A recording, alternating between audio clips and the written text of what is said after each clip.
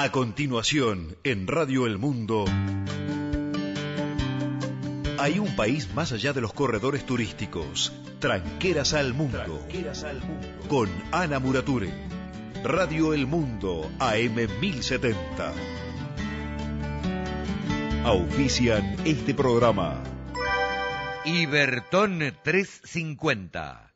El antiparasitario más potente antisárnico, garrapaticida y melofagicida.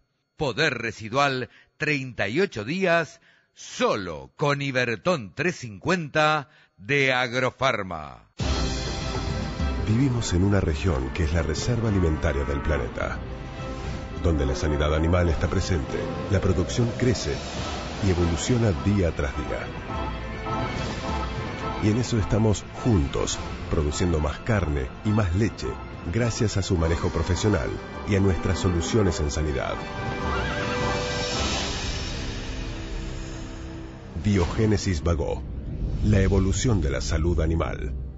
Auspicia este programa el Instituto de Promoción de la Carne Vacuna Argentina www.ipcba.com.ar Asegúrate contra granizo en la segunda, donde lo primero sos vos. Hacé como Manu Ginóbili, confía en el grupo asegurador La Segunda. Superintendencia de Seguros de la Nación, órgano de control 0800-666-8400, www.ssn.gov.ar, número de inscripción 0317. Rofex, seguridad y transparencia en futuros y opciones desde 1909. Sos ciudadano del glaciar Perito Moreno, protector de la ballena franca austral. Sos amigo personal de la cordillera de los Andes y compañero de toda la fauna de los esteros de Liberá. Sos sponsor oficial de las alturas que alcanza el cóndor. Y tenés un asiento de pasto reservado para vos en la Laguna de los Pájaros. El glaciar, los cerros de Salta, la espectacular Pampa, la Puna, el desierto y 3.000 kilómetros de playa atlántica son los territorios donde sos dominante. Sos protagonista en los ríos calmos y también en los rápidos. Sos la especie que predomina en los parques nacionales. Sos dueño desde Ushuaia hasta La Quiaca. Sos dueño de este mundo. Argentina es tu mundo. Date una vuelta. Presidencia de la Nación. Osprera trabaja por la salud de la familia rural. Compañero afiliado, en caso de necesitar atención médica fuera del horario de la boca de expendio, llame a la línea gratuita 0800 777 8725 obra social del personal rural y estibadores de la República Argentina. Superintendencia de Servicios de Salud. Servicio telefónico gratuito. 0800-222 Salud. Página web www.sssalud.gov.ar. Osprera. Registro número 119302.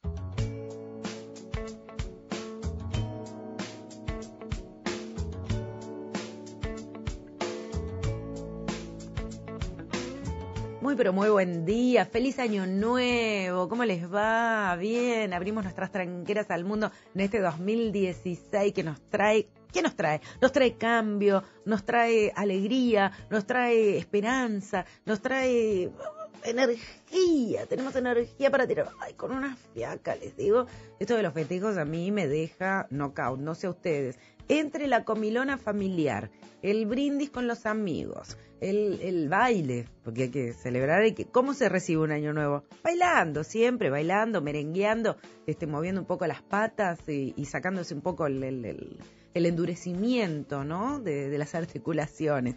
Bueno, después hay que bancársela, y son días para recuperarse que uno tiene, pero no importa, con alegría, con optimismo, con, sobre todo con esperanza y optimismo, porque cada vez que empieza un año, nosotros ponemos sobre la mesa todas las esperanzas. Nosotros creemos que un nuevo año es una nueva oportunidad. Y es cierto, no es solamente una creencia, es una nueva oportunidad que nos da la vida, que nos da, que nos da nuestro, nuestro espíritu, que nos da el arbolito, lo armes o no, de Navidad, que siempre se arma en alguna casa, que nos da, que nos da el ver a la gente con con esperanza y, con entusiasmo saliendo a la calle a seguir trabajando y a seguir creciendo. Por eso nosotros, con el entusiasmo de siempre, estamos aquí con Paula Escopa en la producción periodística, el señor Jorge Aguayo en los controles, Mariana Fioroni en la producción comercial y quien les habla, Ana Murature. eh, armando este programa que, que trae la fuerza, que trae el entusiasmo que este nuevo año nos trae para todos. Así que felicidades, arranquemos con mucha fuerza en armonía, en paz y por supuesto siempre tratando de crecer. Tenemos un programa especial, exclusivo para ustedes, que lo vamos a compartir de esta manera. El campo de cara al progreso. Comparta novedades, fotos, videos y todas las entrevistas. Encuéntrenos en Facebook Tranqueras al Mundo.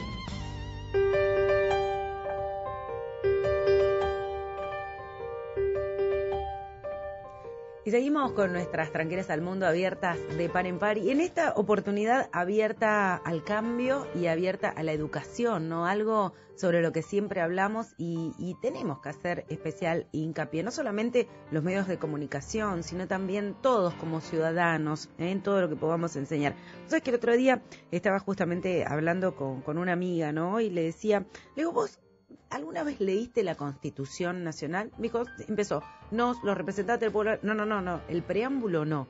¿Leíste la Constitución Nacional para conocer tus derechos? Me dijo, la verdad que no. Dije, bueno, eso sería el puntapié inicial, ¿no? Como ciudadano, para generar los cambios que necesitamos y para estar bien educados. Tener la Constitución Nacional, que es un librito así de chiquitito nada más dentro de nuestra cartera y poder repasarlo día a día para conocer exactamente qué es lo que podemos hacer, qué es lo que no podemos hacer y qué es lo que tenemos la obligación de hacer, cuáles son nuestras responsabilidades y nuestros derechos. Pero no solamente de eso se basa el cambio, sino también se basa en las instituciones que dan este, toda la ayuda posible para mejorar la educación de la gente. Y es así que el Centro de Estudios e Investigación para la Dirigencia Agroindustrial, conocida como SEIDA de la Sociedad Rural Argentina, está presentando una renovada propuesta para su ciclo lectivo 2016. La idea es justamente que a través del programa de formación y capacitación dirigencial de la Sociedad Rural Argentina se renueven los conocimientos, la forma de educar para este 2016, para este año 2016 que trae grandes cambios. Y bueno, tal es así que este programa, este nuevo programa, tendrá un formato de 20 jornadas durante 10 meses, dos días consecutivos por mes y va a contar con importantes novedades. ¿Cuáles son las novedades? Vamos a conversar con Fernando Canosa, el director de educación del Centro de Estudios e Investigación para la Dirigencia Agroindustrial, conocido como CEIDA. Fernando, muchísimas gracias por tu tiempo. Bienvenido a Namuratura Te Saluda. ¿Cómo te va? ¿Qué tal, Ana? ¿Cómo estás? Muy bien, por suerte. Bueno, bueno tal como, como vos este, comentabas en la introducción, eh, el curso del CEIDA, que ya lleva 30 años organizado por Sociedad Rural Argentina, y que a mí me toca ser en este momento el, director de educación de la, de la, institución, renueva, digamos, de alguna manera su, su propuesta. Hemos acortado, digamos, la parte presencial, hemos acomodándolo a las nuevas tecnologías, hemos reemplazado parte de la que la, la parte presencial por nuestra plataforma a distancia, donde podemos dar una serie, digamos, dar más contenidos, pero más contenidos a distancia y no tanto presencial, como para que la gente que fundamentalmente proviene del interior tenga menos costos, inclusive el costo también se, Muy bien, muy bien. Eh, eh, esto te digo no solamente para la gente que vive lejos, sino también por una cuestión de que a partir de estas nuevas tecnologías, de este cambio, nos ayornamos todos a utilizar el tiempo que podemos, como podemos, incluso haciendo otras cosas, para poder, poder aprender mientras tanto en nuestras casas, en la oficina. Vos fíjate que ahora somos así como, este, como hombres orquestas y mujeres orquestas, ¿no? Queremos hacer todo y gracias a la tecnología podemos hacerlo. Ustedes, eh, bueno, ahora la idea es eh, un formato de 20 jornadas durante 10 meses, dos días consecutivos por mes y, también muchas novedades que incluyen nuevas materias y contenidos. ¿Cómo estimaron ustedes que tenían que hacer este cambio al margen del tema tecnológico? ¿Cuáles fueron las materias que incluyen y qué contenidos creyeron que tenían que sumarse a estos estudios? Bueno, esto es parte, digamos, de la dinámica de estos de estos cursos en los cuales permanentemente lo venimos ayornando. O sea, no estamos dando hoy lo mismo que damos hace 30 años cuando empezamos. Desde ese lugar hemos eh, incluido eh, mayor preponderancia, le hemos dado más peso a todo lo que tiene que ver con las economías regionales, a lo que tiene que ver con la cadena de la carne y de la leche en la parte específica agropecuaria. Después también tenemos un trabajo final globalizador que la idea es que cada, cada uno de los cursantes que sea que vaya a ser o que sea dirigente en su localidad, en su pueblo, en, en donde iba, digamos, tenga la posibilidad de desarrollar un trabajo que le permita poder este, juntar el conjunto de las materias que se dan. Y hablando un poquito de las materias, acá hay, por un lado, todo lo que tiene que ver con formación, que está ligado a economía, a historia, a las cadenas agroindustriales, a filosofía, y después hay toda una cuestión, digamos, más práctica, que está ligado a lo que tiene que ver con eh, práctica de negociación, lo que tiene que ver con lobby, lo que tiene que ver con eh, presentaciones orales, presentaciones escritas, o sea, todo lo que tiene, una parte práctica y una parte, digamos, más formativa. Vos sabés que me parece un curso maravilloso, te estaba escuchando ¿no? atentamente, un curso maravilloso para que lo hagan no solamente aquellos que, que, quieren dedicarse justamente a la formación dirigencial, sino también para todas las personas, porque te abre mucho, mucho el espectro de lo que sucede eh, no solamente en tu región, de lo que sucede en el país y en el mundo, te prepara como para por lo menos empezar a escuchar las cosas diferentes. Fíjate que una persona que tiene algo de formación dirigencial eh, escucha y ve el mundo de una manera distinta a, a, lo que es el, ciudadano común que quizá nunca tuvo la oportunidad de cursar algo así. Esto me parece muy interesante para, para que lo haga la mayor cantidad de gente posible, pero ¿qué se necesita para comenzar este curso? ¿Es necesario haber tenido este, algún tipo de estudios previos o con un secundario está bien?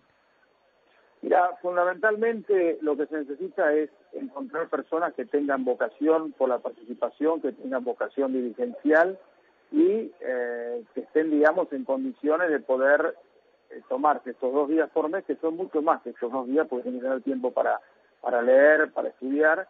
Eh, no hay ninguna otra otra limitación. Hay, hay un comité, entre comillas, eh, con el cual se entrevista a cada uno de los alumnos, de los posibles alumnos, y vemos de alguna manera si amerita, digamos, esto no tiene ningún afán de, de, dejar a nadie que quiera hacer lo que no lo haga, pero ver si realmente tiene vocación por lo que va a estudiar, ¿no es cierto? esa es la, la intención nuestra, poder formar futuros dirigentes que no no es solamente desde lo, a lo, se dedican a lo público, sino que puede ser en, en una ONG, en una entidad educativa, en fin, en cualquier lugar donde estén dispuestos a ejercer o quieran ejercer una posición de liderazgo. Perfecto. 30 años, ¿eh? 30 años ya el SEIDA trabajando en la educación, en la capacitación. ¿Cuánto tiempo hace que estás vos? ¿Hace 30 años o no? Vos sos muy jovencito, Fernando. gracias, Ana, pero no. Yo entré como director de educación cuando asumió la nueva presidencia Luis Miguel Echeverre. Soy exalumno del SEIDA, o sea que lo que estoy hablando lo digo con conocimiento de causa y algo que me parece interesante también este, que podemos este, comentar en este momento es que han hay varios que, este, personas que han pasado por nuestro curso que van, van a ocupar puestos selectivos. Hemos también generado un grupo para poder apoyarlos y acompañarlos en esta nueva, función, ¿no es cierto? Buenísimo, buenísimo, Fernando. Eh, bueno, quiero a todos los que quieran anotarse en este curso 2016 que sepan que está abierta la inscripción, que pueden escribir a ceida.sra.org.ar o llamar al 011 43 24 4790. Allí les van a dar toda la información que requieran. Reitero, seida con C de casa, arroba sra.org.ar o al teléfono 011 43 24 47 90 comunicarse y por supuesto ya inscribirse para estos cursos que para este curso, este nuevo programa de formación dirigencial que eh, va a comenzar entre el 17 y 18 de marzo de este 2016. Muchísimas gracias, ha sido un placer conversar contigo. Feliz cumpleaños para la institución eh, y bueno, sabes que aquí tenés un lugar para, para comunicar lo que sea cuando lo necesiten. ¿eh? Bueno, muchísimas gracias Ana y estamos a tu disposición para cuando podamos ayudar a comunicar como ustedes lo hacen también. Un fuerte abrazo, ¿eh? muchísimas gracias. Buen fin de semana. Hasta luego. Fernando Canosa es director de educación del CEIDA, ¿eh? Centro de Estudios e Investigación para la Dirigencia Agroindustrial. La actualidad es una página en blanco que se llena cada día con información, incluso los sábados. Despertate el sexto día de la semana entendiendo lo que pasó, anticipándote a lo que va a pasar. El blanco de la política. Porque la actualidad no se toma descanso. toma descanso. El blanco de la política. Conduce Jorge García. Sábados de 7 a 9 por El Mundo. AM 1070. Pase las tranqueras. Entre en contacto con la Tierra. Tranqueras arroba radioelmundo.com.ar. Opine, pregunte, comparta.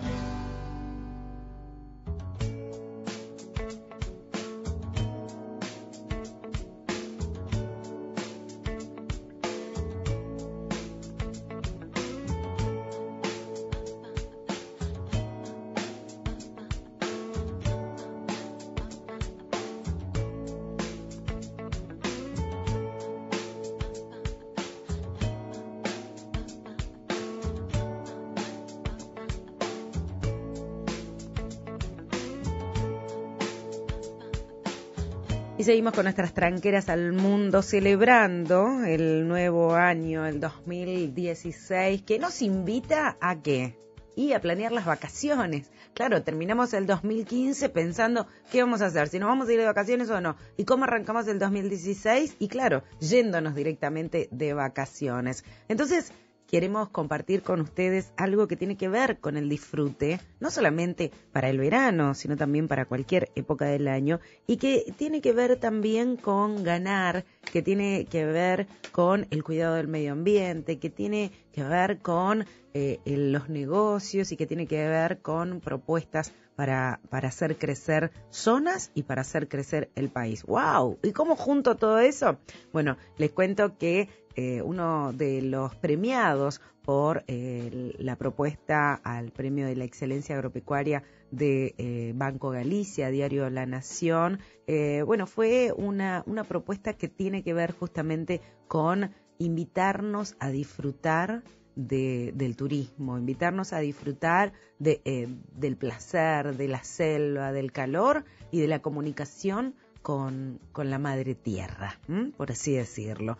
Vamos a hablar de un hotel que quizá no lo conozcas, quizá no escuchaste hablar nunca y quizá pasaste alguna vez unos días maravillosos por allí o no. Vamos a hablar de un hotel para mí para mí desconocido totalmente, se llama Don Mocona Virgin Lodge, que está ubicado en la provincia de Misiones, que ha logrado este premio por un trabajo realmente responsable y comprometido de este, sus dueños y de todo el personal que trabaja allí. Y vamos a conversar con Elena Lajarrague, ella es socia de Le Vázquez Sociedad Anónima, Hotel Don Mocona Virgin Lodge, que nos va a contar acerca del premio que lograron y cómo trabajan en este lugar que está situado en la selva misionera. Elena, bienvenida a Namurature, te saluda, felicitaciones, ¿cómo estás? Hola Ana, ¿qué tal? Eh, buenos días. Eh, muy contenta, la verdad, por este premio que hemos recibido por parte del Banco de Galicia y el Diario La Nación. Eh, a la excelencia agroturística por nuestro lodge, Don Moconá Virgin Lodge, en medio de la selva misionera, en la zona de los Altos del Moconá. Contame un poquitito, bueno, eh, ¿por qué recibieron este premio? ¿Por qué, este, qué fue, cuál fue el trabajo destacable para, para recibir esta, primero la invitación, cómo, o sea, se anotaron o se animaron ustedes a participar de esta propuesta y qué fue lo que se premió porque realmente le quiero compartir esto a todos los oyentes que no conocen Don Mocona Virgin Lodge.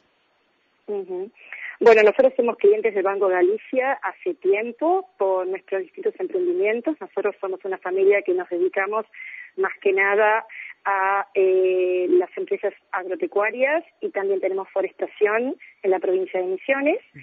Y tenemos toda esta zona de eh, bosque nativo en el Moconá, sobre el río Uruguay, desde la década del 40, cuando mi abuelo, Juan eh, León Larrague, junto con su socio y amigo, Juan Alberto Arriet, compraron eh, gran parte de esa zona.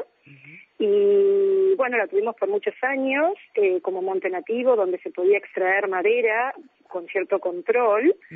y decidimos hace poco tiempo darle un valor agregado eh, asociándonos con los nietos de Juan Alberto Arriet, la familia Arriet, que tenían un, eh, un, un, camping y un hostel en la zona, que es donde lo transformamos a lo que es hoy en día Don Moconá Virgin Lodge, que se encuentra en la ruta que une la localidad del Soberbio con los Altos del Moconá, a seis kilómetros de los Altos del Moconá, y sobre un arroyo que se llama el arroyo Yabotí, que por su envergadura parece un río más que un arroyo, y es un afluente del río Uruguay. Qué lindo, qué lindo. Me imagino que debe ser divino. Yo he visto las fotos porque cuando ustedes subieron a recibir el premio, yo estaba allí entre los comensales y, bueno, y escuché este, que, que, invitaron ¿no? a todos a conocer este lugar y automáticamente empecé a googlear, porque uno, viste, tiene eso, se le despierta enseguida la parte periodística y quiere conocer y ver y saber.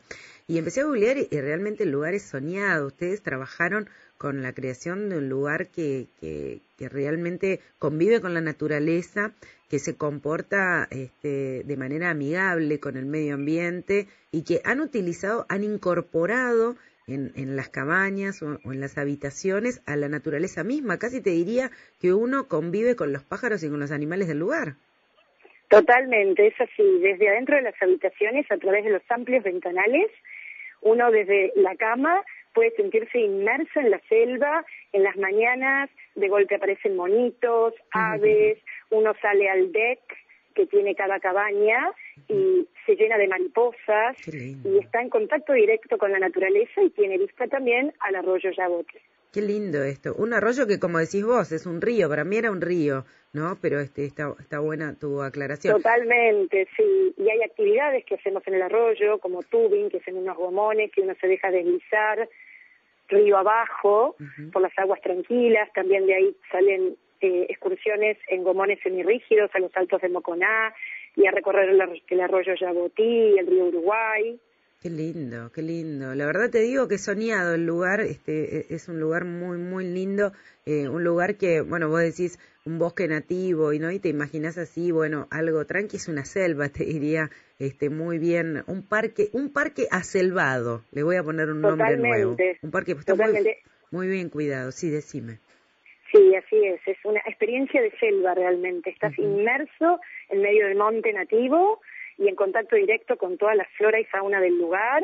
Es un lugar ideal para ir a desestresarse, descansar unos días, relajarse y también, ¿por qué no?, hacer alguna de las actividades que brindamos, como rapel, tirolesa, arquería, kayak, tubing, paseos en los gomones semirrígidos, paseos por los senderos, eh, acompañados por un guía, el fogón de mitos y leyendas a la noche, y bueno, hay más, otras actividades más. Bueno, bueno, ya con eso te digo, yo ya con el lugar estoy, ya estoy repleta, estoy totalmente completa y soy feliz, porque el lugar es, un sueño para los que amamos la naturaleza.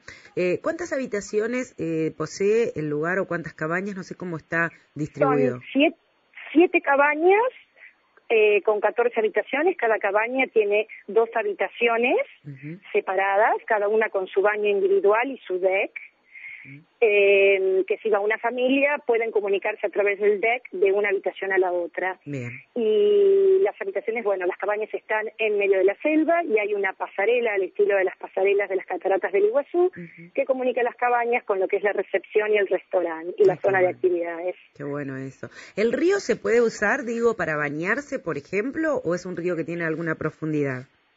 Tiene una cierta profundidad, pero uno se puede bañar. De hecho, si uno hace la actividad esta del tubing en los gomones, hay un momento en, donde uno se tira al agua y también atraviesa el predio del lodge un arroyo, el arroyo Veja Negra, donde hay un salto, donde uno puede ir a refrescarse y bañarse también. Ah, esa cascada, digamos, también está Una dentro. cascada, eso mismo, sí, el salto Horacio, eso está a pocos metros, a unos 200 metros de la recepción y restaurante del lodge. Bien, más que un salto, no, yo te diría un cascadón, porque la estoy viendo acá, es una cascada importante. es, muy lindo, es muy refrescante en toda época del año, en verano el agua es muy fresca, y además ahora estamos construyendo una pileta que fue muy pedida por todos los que visitaron el lugar, entre las cabañas y la recepción, que eh, esperamos tenerla terminada para esta temporada de verano. ¿De dónde, de dónde viene eh, el agua esta? ¿De dónde proviene el agua del arroyo? El agua del arroyo eh, es del eh, arroyo Yaboti. Ajá, ajá, pero digo, o sea, viene de la selva misma, de, la, de las entrañas mismas, porque el agua es cierto, es una zona donde después termina juntándose con el Uruguay. El río Uruguay es de aguas frías, no tiene nada que ver con el Paraná. Eso es. No, ya, de aguas frías y muy profundas. Mira vos, qué lindo, qué lindo. La verdad que he soñado, estoy mirando las fotos, eh, eh, realmente han puesto un trabajo muy interesante, un trabajo este, que, que es digno de verse, de, de, vivirlo, de disfrutarlo. Por eso queríamos contarle no solamente que ustedes habían ganado este premio, que tenía que ver justamente con el esfuerzo, con el trabajo y con darle valor agregado a este lugar tan hermoso que tenían, sino también que tiene que ver con compartirlo con todo el mundo, ¿no? Porque está abierto todo el año para que la gente lo pueda vivir, lo pueda disfrutar y eso este, es muy importante, es muy importante. Así que... Totalmente, sí. Y es un lugar que para nosotros significa mucho porque tiene que ver con nuestros antepasados que nos legaron estas tierras coloradas y, bueno, y queríamos, así como dijiste, poder eh, hacer que el país y el mundo lo conozca, no solo que quedara como algo nuestro, a todo este lugar de selva, sino abrirlo a los demás. Por eso la idea de este lodge, que esperamos que a pesar de que lleva poco tiempo funcionando, eh, estamos muy contentos cómo está funcionando y que pueda seguir creciendo cada vez más. Perfecto. Bueno, entonces de aquí, un avión directo a Misiones y allí ustedes nos van a buscar o tenemos este alguna forma de, de llegar hasta, hasta el lodge. Sí, hay diferentes opciones. Se puede viajar en avión a Iguazú o a Posadas. Y desde, desde Iguazú hay convenios con algunos transfers que salen determinados días de la semana y en determinados horarios que realizan el viaje de tres horas a, hasta Moconá. Bien. Sino también hay convenios con agencias de, de, de alquiler de autos eh, para por dos, tres días, a veces eh, te dan tres días al precio de dos, para que uno pueda manejarse, digamos, con los tiempos que uno desea ir parando en el camino. ¿Las distancias entre Iguazú y Posadas son más o menos similares? Es similar, son más o menos tres horas de viaje entre, entre Iguazú o Posadas y el Lodge. Decime una cosa, Elena, eh, ¿cuál, es, ¿cuál es la característica de la zona de Saltos del Moconá? Eh, la característica es que es un lugar de pura selva, pura selva virgen. Es hoy en día, desde el, el 1993-94, constituye a nivel mundial la reserva de biosfera Yabotí, que es un área protegida, y es eh, también eh, tiene los saltos del Moconá, que son únicos en el mundo en cuanto a que cortan el río Uruguay en forma transversal, en lugar de hacerlo en forma horizontal, como lo hace, por ejemplo, las cataratas del Iguazú. Es una falla de tres kilómetros en donde están los saltos y según la altura del río se los puede ver mejor o a veces están tapados. Son como pequeñas cataratitas, ¿no? Por así decirlo. sí, eso mismo. Sí, cataratas eh, consecutivas, una al lado de la otra y uno llega con estos gomones al lado de la catarata y realmente se recibe el baño del agua de la mm. catarata encima y es y, lo lindo es que es todo rodeado de naturaleza. Qué lindo, qué lindo, qué placer, qué placer. Bueno, me voy a instalar unos días, así que anda preparándome, este, por favor, la habitación. Me quedo en tu casa, si no, no tengo ningún problema. muy bienvenida. Vamos a ir ahí a relajarnos y a cargar pilas. Yo creo que con tres días está más que bien para volver recargado, eh, para venir renovado. Y si no, si nos gusta, te digo, Elena, armamos una y nos quedamos a vivir ahí y listo. ¿Eh? ¿Te parece? ¿Cómo no? Con mucho gusto. Y de paso los vamos a convidar con los platos típicos de la zona, eh, la rica cocina también con algunos platos internacionales, el pacú, que es un pez de la zona que sale muy bien, eh, con mandioca. Y también, bueno, utilizamos en la cocina productos de nuestra huerta orgánica que está empezando a funcionar cada vez mejor. Qué bueno, qué bueno, Elena. Felicitaciones por el premio, muchísimas gracias por, por invitarnos, muchísimas gracias por compartir este espacio de selva con todos nosotros, por cuidar el medio ambiente y por seguir trabajando por el crecimiento de la región. ¿eh? Muchas gracias. Muchas gracias a ustedes por habernos contactado y bueno, esperemos que todos en algún momento tengan la oportunidad de visitar la página www.donmoconavirginlodge.com o de ¿por qué no ir a visitarnos allá? Por supuesto. Elena, un fuerte abrazo. Muchísimas gracias de que tengas muy buen fin de semana. ¿eh? Muchas gracias a ustedes también. Hasta, luego.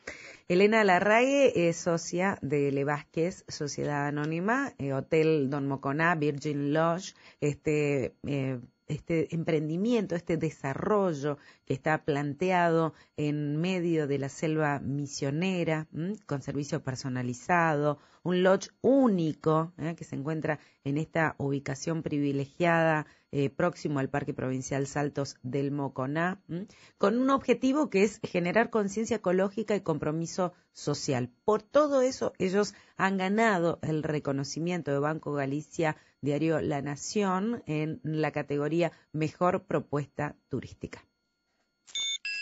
Espacio Publicitario. En Caledonia Seguros llevamos 80 años brindando seguridad, tranquilidad y un excelente servicio a los argentinos.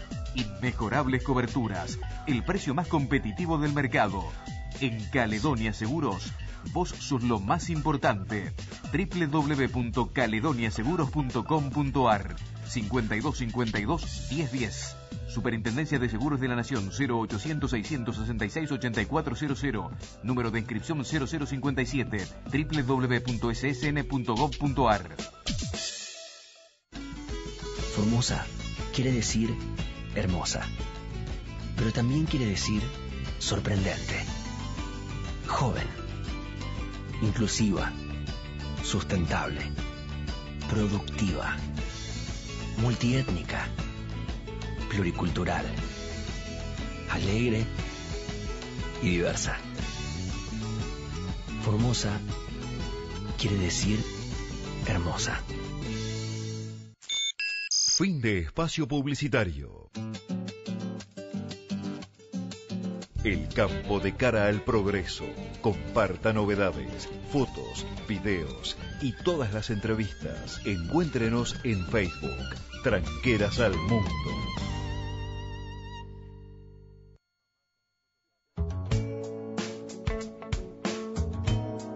Y seguimos aquí con nuestras tranqueras al mundo abiertas de par en par y sabes que podés compartir información con nosotros a través de nuestro Face Anita Murature, Tranqueras al Mundo. ¿eh? Antes era Tranqueras al Mundo Anita Murature, ahora es al revés. Hemos cambiado el título porque Face nos ha obligado a cambiar el nombre. Anita Murature, Tranqueras al Mundo, nos seguís y por supuesto vamos compartiendo información. Información muy importante como esta de la que vamos a hablar ahora que tiene que ver con este cambio climático y tiene que ver con la época del año, ¿no? Y el estrés calórico. Claro, el estrés calórico no solamente para los seres humanos, sino también para los animales, porque si hay algo que nosotros tenemos que cuidar también es lo que consumimos. Cuidamos las plantas, cuidamos los huertos, viste que los protegemos en verano, en calor, justamente porque el sol les da pleno y termina matando las plantas. Bueno, lo mismo sucede con los seres humanos, lo mismo sucede con los animales, sean para alimento, sean para leche o simplemente como mascotas. Tenemos que cuidar a los animales y justamente vamos a hablar del tema de los tambos, de la producción primaria de leche y vamos a hablar de la producción responsable justamente hablando del estrés calórico, del cuidado que tenemos que darle a nuestros animales. Claudio Glauber es responsable justamente del programa Tambos y Producción Primaria de Leche del Senasa, a quien le damos la bienvenida y les le agradecemos, por supuesto, como siempre, estar en nuestro programa recomendando lo que tenemos que hacer para producir responsablemente. Claudio, ¿cómo te va? Ana Murature te saluda, bienvenido. Gracias, Ana. Buenas tardes. ¿Cómo estás? ¿Todo bien? Muy bien. La verdad es que muy bien, pasando con estos calores, calores fríos, lluvia, piedra, sequía, ¿viste? Es una cosa de loco, no sabemos qué poner. Me imagino que los animales tampoco, pobrecitos, ¿no? Y no, los animales sufren estrés calórico y la vaca lechera más todavía. Es un animal muy sensible respecto a la temperatura. Tiene un nivel de confort que va entre 5 y 25 grados. Eso significa que cuando superan los 25 grados centígrados con 60 grados de humedad, la vaca este, sale de su fisiología normal de regulación de la, temperatura y aparecen problemitas eh, de estrés calórico. Estos problemitas tienen signos, signos clínicos muy visibles, que es interesante recordarlos porque así el productor se da cuenta este, que, está con su rodeo un porcentaje de animales sufriendo estrés calórico y toma las medidas necesarias que son bastante sencillas pero no comunes este, para evitarlo. Te cuento, digamos, los signos básicamente es el aumento del ritmo respiratorio. este, lo normal en la vaca lechera, en la vaca en el bovino son 35, 50 ritmos por minuto y eh, se duplica prácticamente cuando hay estrés calórico, 80, 70 pulsaciones. Aumenta la temperatura corporal, que es mayor de 39, 39 y medio. La respiración es rápida, la lengua está afuera, el animal se lo ve como jadeante, con excesiva salivación y pérdida de saliva por la boca. La rumia disminuye, disminuye la actividad corporal, aumento el consumo de agua, por supuesto, y disminuye, cosa que es muy, muy importante, el consumo de materia seca. O sea, el animal come menos, está disminuido su consumo y eso, junto con otras cosas, produce una disminución de la producción que en algunos casos llega a ser hasta el 20 o 30%, o sea que estamos hablando este, de mucha leche, de mucha pérdida, además del sufrimiento que sufren los, las pobres vacas lecheras. No, no, me imagino que debe ser terrible, ¿no? Tanto en las tormentas donde los animales están a la intemperie y reciben lluvias permanentes, mucho frío, pedradas, calor. Digo, esto sumado a la irresponsabilidad, y acá lo voy a decir, y, y, tomo la responsabilidad yo, ¿no? De decirlo, la irresponsabilidad y el maltrato por parte de muchos productores que todavía no toman conciencia que un animal es un ser vivo y que sufren exactamente lo mismo que nosotros. Quizás se la banquen un poco más porque el cuero es un poco más duro, pero eso no significa que deja de ser un ser vivo que sufre, que siente, que tiene calor, que tiene frío, que, que, que se queda empantanado y que sufre porque cuando se está muriendo el animal sufre hasta que se muere.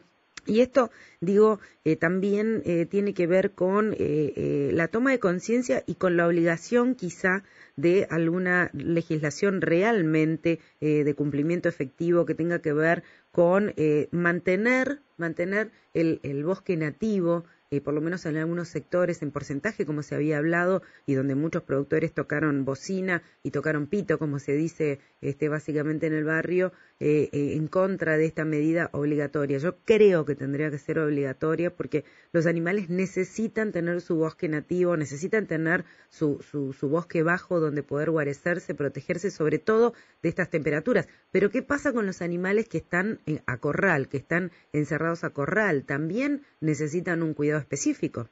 Por supuesto. Hoy día vos sabés que hay una tendencia en el tambo hacia el confinamiento, o sea, vacas que ya no son más este, alegremente o este, románticamente en, el en, la ruta, toda la ruta, pastoreando libremente, sino que están en muchos casos en sistemas de confinamiento, en corrales cerrados o corrales con un poco de tierra, pero están con un sistema de confinamiento, este, lo que eleva el estrés y eleva un problema, muchos problemas sanitarios.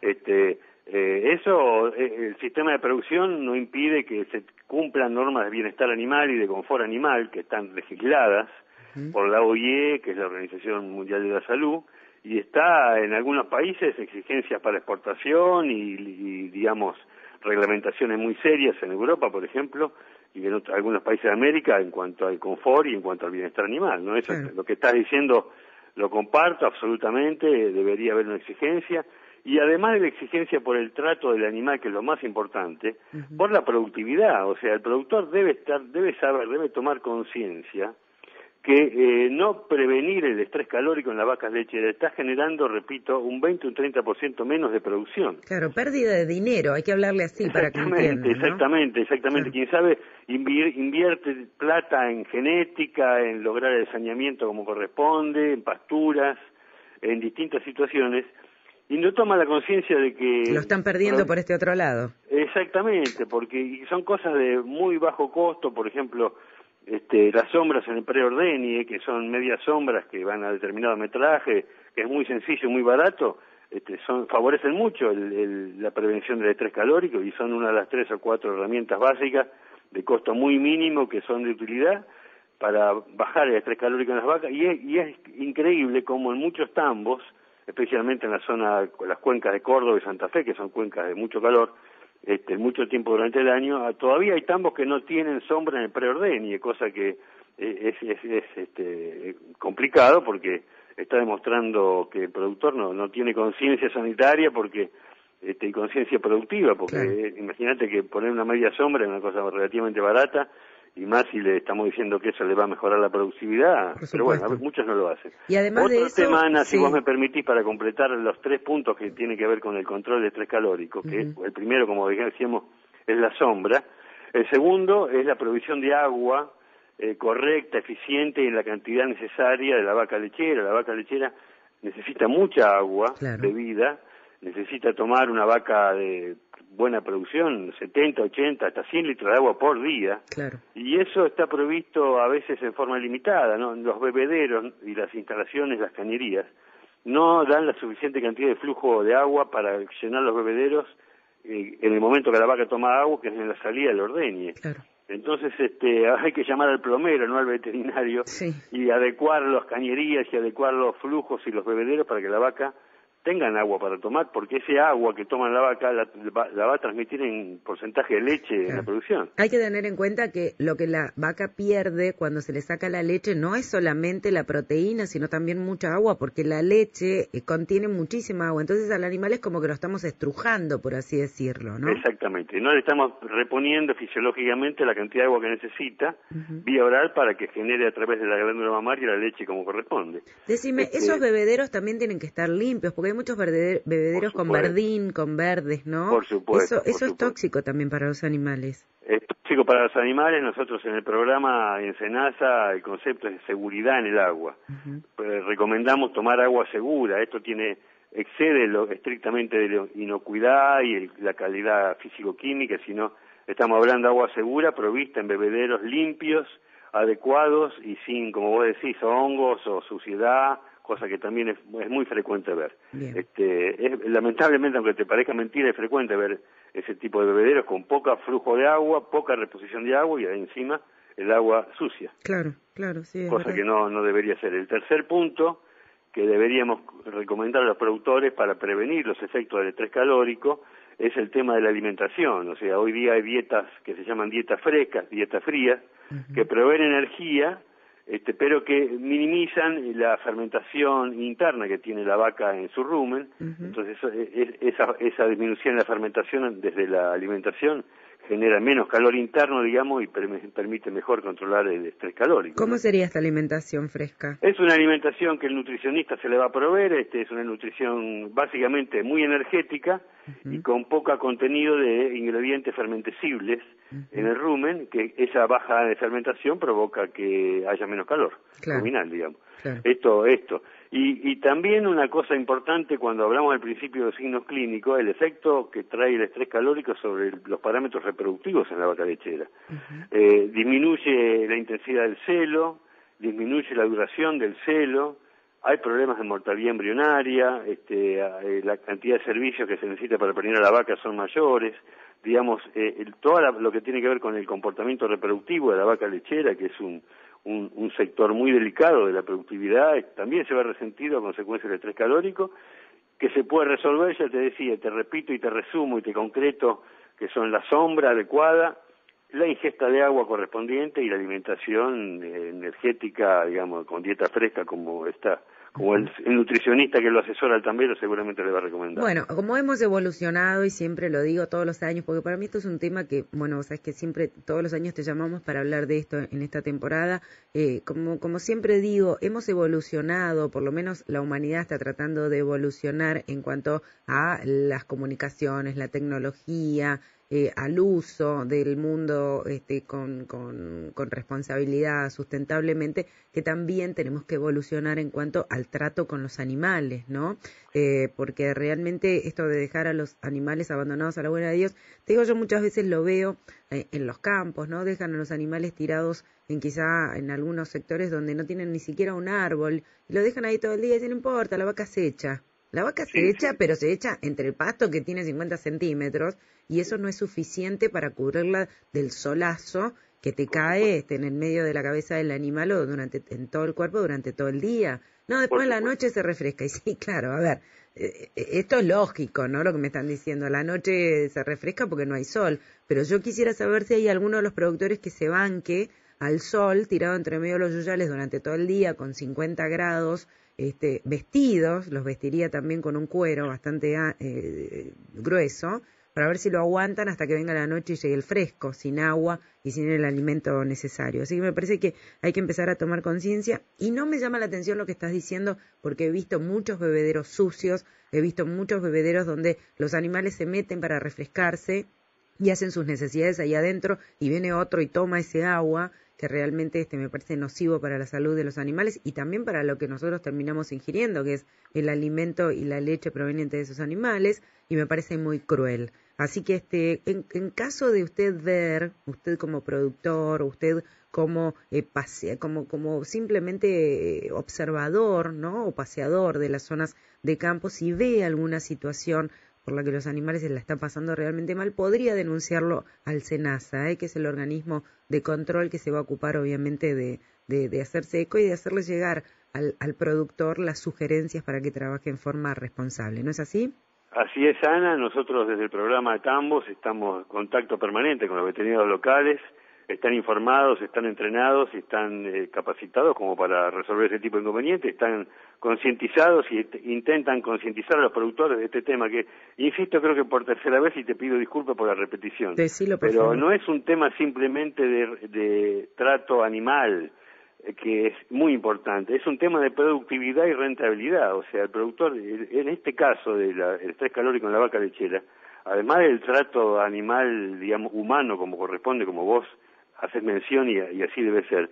Debería, debería por un tema de rentabilidad, y más ahora que la rentabilidad está bastante ajustada y muchos también se quejan porque hay falla en la rentabilidad y en el resultado económico, saber que, que el estrés calórico es una enfermedad que dura en muchos casos más de medio año, porque el calor empieza en agosto, septiembre y termina en abril y mayo en muchos lugares.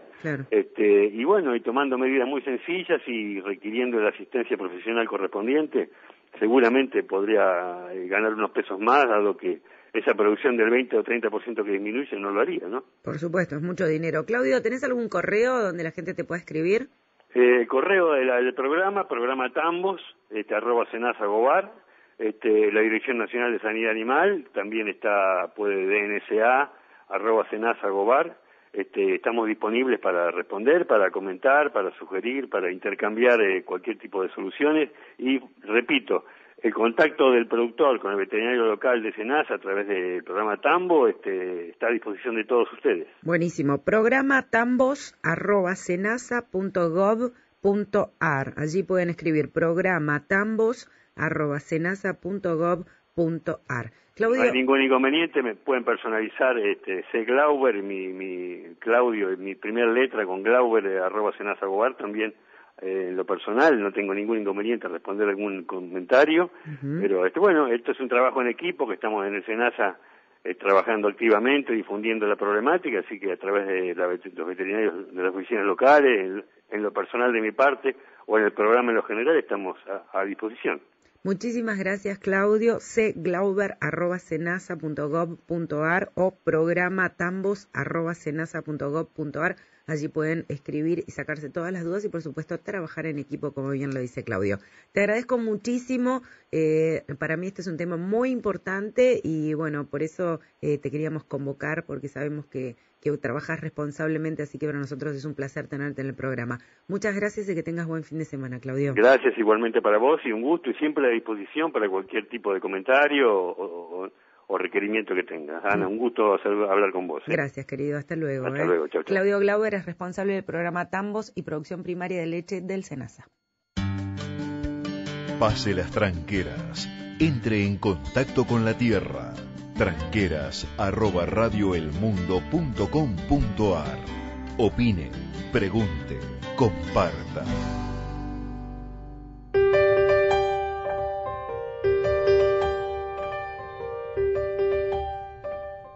Comparte información con nosotros, que es una manera de, comunicarnos, una manera de estar a la vanguardia en todo lo que pasa en el mundo y sobre todo lo que pasa aquí en Argentina. Tenemos desarrollos que realmente son interesantísimos. Hace unos meses estuve haciendo unos programas especiales y justamente uno de los programas especiales tuvo que ver con la cría de codorniz, ¿no? Aquí en Argentina. ¿Se acuerdan que por los años 90 se puso de moda la cría de codorniz? Entonces te decían, si vos tenés un departamento, un pedacito, un balconcito, un pedacito, podés criar codornices porque la codorniz se cría y, y te daban los números de cuánto podías ganar invirtiendo en algunos, en algunos animales y los huevitos, cuánto te podrías, eh, porque la verdad te digo que la, la codorniz pone muchísimos huevitos, entonces podías ganar tanta plata y qué hacer con los huevitos y dónde venderlo, y de repente desapareció. Así como, como me quedé muda, desapareció la producción de Codorniz, ¿no? Entonces empecé a buscar información y dije, no quedan algunos productores, pero no quedaron tantos de aquellos de los 90. Los pocos que quedaron siguieron trabajando, siguieron innovando, otros empezaron sus negocios nuevos hace pocos años. Y vos fíjate, ¿no? Siempre hay alguien que está a la vanguardia, siempre hay alguien que dice, ¿y por qué no probamos con hacer esto? Que me parece que en Argentina tenemos que hacer eso. Hay algo que sucede en Estados Unidos, por ejemplo, que me llama mucho la atención porque veo los programas, no porque lo tenga como, como, como referente a Estados Unidos, sino porque veo los programas de cocina permanentemente. Y los programas de cocina están incentivando siempre a la gente para que hagan nuevos proyectos con la comida, cómo abrir nuevos negocios. Y eso es lo que está faltando acá en Argentina, creatividad. Hay mucha creatividad, hay que ponerla en juego y hay que jugársela. Como estos muchachos que empezaron un emprendimiento, una apuesta a crear justamente a partir de los huevos de codorniz la mayonesa de codorniz. Y serían los únicos en el mundo que estarían brindando este producto. Vamos a conversar con Nelson Anfuso, él es socio de la firma Miss Quail, que es justamente eh, este nuevo emprendimiento que se dedica a esto en Argentina. Nelson, bienvenido, Ana Murature te saluda. ¿Cómo te va? ¿Qué tal? Bien, buenas tardes. Bueno, un placer tenerte aquí en el programa, ¿eh? Muchas gracias. Bueno, el gusto, te diría, el gusto es de la mayonesa. sí, de la mayonesa. Qué buena esta idea. Es algo... Decime, decime. No, no, digo, qué, qué buena esta idea, digo, ¿no? De crear y de pensar más allá, a ver qué es lo que se puede hacer y de innovar. Pero contame un poquitito cómo nace este emprendimiento tuyo o de ustedes, quiénes son los que, los que se dedicaron a la, a la apuesta de la, de la codorniz somos dos amigos. Yo cuando mm, no tenía trabajo, en la década del 90, eh, vendía huevo de codorniz. Mira. Bueno, así empecé y hice un reparto de huevos y de productos dietéticos. En ese interín yo conozco a Gustavo. Soy un amigo, así nos cruzamos en un cliente y ahí empezamos la amistad, digamos. Sí él se, él se es abogado y yo después, bueno, se armó la amistad y eh, yo seguí con mi reparto de productos detectivos, fui cambiando y ahora tengo una, digamos, distribuidora de queso. Ajá, mira vos. Mantuvimos, mantuvimos, sí, distribuidora de quesos especiales, todo que sea queso brie y queso camembert. Qué rico. Sí, pero uno quiere tener lo suyo. Claro. Y nosotros como, yo como voy a empezar con los huevos de codorniz, eh, hacíamos, mi mamá hacía hasta flan de huevo de codorniz. Mira. Y, hacía la mayonesa de huevo de codorniz. Y bueno, y, sentado en un café empezamos a diagramar lo que es este proyecto que ya lleva cinco años. Eh, bueno, y empezamos a diagramar todo, empezamos a, a comprar las máquinas, eh, las primeras máquinas fueron que compramos usadas, así fuimos creciendo de a poco. Sacamos la primera mayonesa de huevo de codorniz, que es muy diferente a las tradicionales, porque nosotros usamos un 63%, 65% de aceite. Sí, bien casera es, como la de la abuela. Qué rico digamos. Y después sacamos las variedades de sabores. Son seis sabores que tenemos. Bien. Los sabores son natural, la tradicional, ahumada, cibulet, kebab, que es la griega o la turca con yogur, eneldo y mascarpone. Qué rico. ¿Sí? De alioli, la italiana, oliva y ajo, y wasabi. Bien. Ahora decime, ¿todo esto tiene, tiene también el ingrediente de codorniz? O sea, ¿tiene la yema de codorniz incorporada en estas mayonesas? Sí, porque tiene la yema y la clara. Ah, mira vos, usan todo. Tiene todo, sí, sí, sí. Nosotros compramos los huevos y se rompen y pasteurizamos nosotros. Ajá, no esta- es un huevo en polvo, nosotros hacemos todo, sí, se pasteuriza el huevo y a partir de ahí se fabrica la, la mayonesa. Bueno, ah, entonces, ustedes no producen codornices, ustedes le compran a los No. establecimientos habilitados ¿m? Exactamente. los huevitos para producir. huevos. Ustedes directamente dijeron, nosotros vamos a hacer un producto especial. Vamos a dedicarnos a crear algo que mi mamá lo hace y muy bien, le saco la receta a mamá, que mamá siempre es buena y me la da, y con esto creo un negocio con mi socio y eh, agarramos y decimos, bueno, eh, dividimos responsabilidades. Uno hace esto y el otro hace lo otro. Compramos la máquina usada y compramos los huevitos, los pasteurizamos y hacemos esta mayonesa. Ahora, Sí, sí, sí, sí. la pregunta, la pregunta del millón que nos estamos haciendo acá todo el equipo, porque somos todas mujeres que nos miramos así, nos sorprendiste cuando dijo mayonesa. ¿Cuántos huevitos se necesitan para sacar un frasco de 300 centímetros cúbicos de mayonesa? Eh, muchos. Eh, calculá que nosotros eh, por semanas unas 1.500 docenas 1500 que docenas. rompemos. Rompen los huevos, 1500 Rompemos los docenas rompen por semana. Sí. Son- bien, perfecto. Por lo Eh, menos. según también el tamaño. Lo bueno que tiene, a ver, eh, las mayonesas comunes tradicionales tienen entre un 20 y un 25% de aceite. El resto, el otro porcentaje, Sí. Lo, lo, lo- Es el huevo. ¿cómo se llama? No, No. le, los tiran con almidón. Ah, Por eso no son aptas para celíacos. Ah, mira qué interesante. Nosotros estamos, claro, nosotros tenemos ese, la mayonesa casera de la abuela, de mamá, Sí, era aceite y huevo. claro. Por eso, por eso te recomendaban comer poco porque te agarrabas unos empachos terribles. Exactamente. Y yo me acuerdo cuando era chico, eh, mi mamá me hacía, mi abuela hacía la mayonesa, y mi mamá me hacía los flanes de huevo de codorniz. Sí. Y los, huevo- y los huevos de codorniz duros. Mira vos. La- los huevos de codorniz tienen mucho más calcio, Sí, mucho más proteínas, mucho más vitaminas que el huevo de gallina. sí, es cierto eso. Equivale a un huevo de codorniz a tres huevos de gallina. Mira vos, qué bárbaro. Entonces ustedes, el 65% de la mayonesa que hacen es aceite, ¿sí? Después, ¿y qué porcentaje de huevo lleva esto? El resto es el resto es el huevo cuando se hace la emulsión. Primero se rompe el huevo y después se rompe, se, se rompe el huevo quiere decir que eh, se hace la emulsión del huevo, se rompe en, en una batidora, digamos en un molino, en un mina- una mini pin más grande, digamos. Sí, sí, ¿sí? Ahí cuando se, se va echando el aceite, bien. ¿Sí? Y después va el limón y después va la parte de agua, un 10% de agua, calcule un 20% de huevo y un 10% de agua. Ah, mira vos, lleva agua. de también. agua, eso eso viene agua, vinagre, el limón, Bien. ¿sí? Y los saborizantes, ¿no? ¿Los saborizantes Y son los naturales? saborizantes. ¿Son naturales?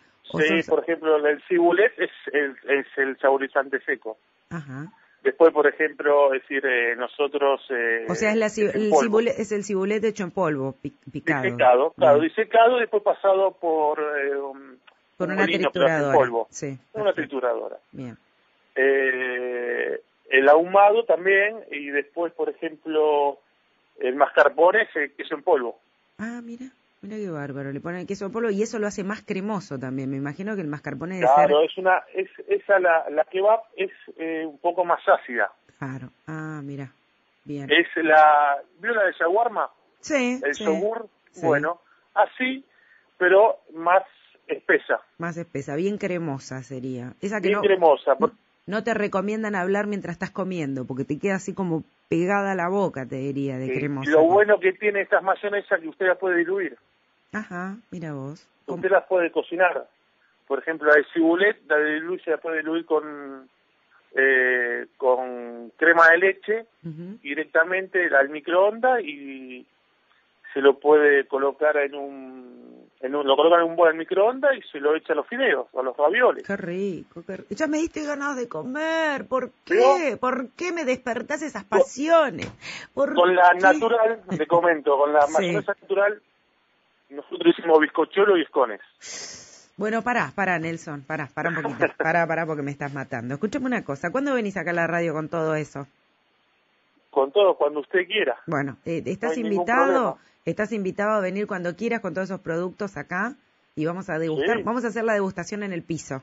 ¿Está bien? Perfecto. ¿Te parece? Sí, no hay ningún Te problema. traes Perfecto. escones, te traes huevito, te traes este mayonesas, traes pancito. Sí, llevo todas las mayonesas. Escúchame, todas las nosotros, mayonesas nosotros vas compramos, compramos el pan y los grisines acá. eh, acá las chicas me revolean la cabeza, están todas enloquecidas como si vinieras hoy. No viene hoy, chica. Viene dentro de unos días, ¿eh? Así que Nelson... Arreglamos, no hay ningún problema. Dale, genial. ¿Cómo se llama la empresa? Miss Quail SRL. Señora Codorniz en inglés. Sí, Miss Quail. Quail Codorniz. Y decime una SRL. cosa, eh, ¿y, la, y la, los productos ustedes los comercializan bajo esta marca? Sí. Miss- Tiene página en Facebook, Ujú, eh, MS Quail, ujú. y después www.msquail.com. Perfecto, msquail.com. Le podrías haber puesto el nombre en español, te digo que va a ser mucho más fácil de comercializar, pero bueno, msquail SRL, ustedes la buscan en Face, msquail, Miss Quail, que es señora Codorniz, este, y realmente van a poder tomar contacto con alguno de los chicos, con Nelson o con Gustavo, para poder tener esos productos que ustedes acaban de escuchar acá, con los que se tentaron, van a tenerlos en su casa o en sus negocios. Yo te quiero agradecer muchísimo, Nelson, y de, de verdad te digo, está hecha la invitación para cuando quieras, así que ahora te dejo con la producción para que arreglen una fecha para que te vengas acá y vamos a probar qué tan buena sale tu mayonesa, ¿te parece?